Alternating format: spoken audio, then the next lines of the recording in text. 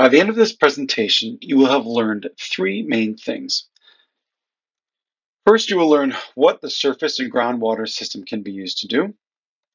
You'll then learn why DOEE uses the SGS and its role in DOEE's plan review process.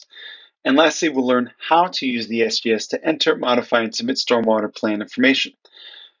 Throughout this training, you can refer to the table of contents in the gray box on the left side of every slide to see major topics in this presentation and to gauge your progress. First, let's briefly talk about what the SGS does. One of the main functions of the SGS is to facilitate the submission of stormwater management plans.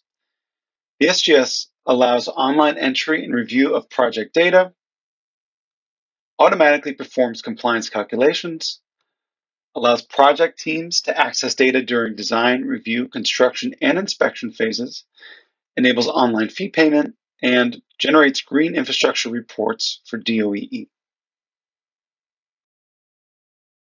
The SGS is also used to manage the district's stormwater retention credit trading program and is the place SGS users go to when they wish to certify SRCs, find buyers and or sellers of SRCs depending on their needs, purchase and use SRCs to meet off-site retention volume or OFV requirements, or pay the in lieu fee.